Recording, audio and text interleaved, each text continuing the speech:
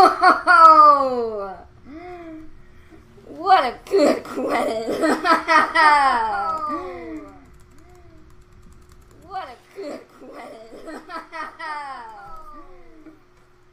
I knew it would happen sometime soon.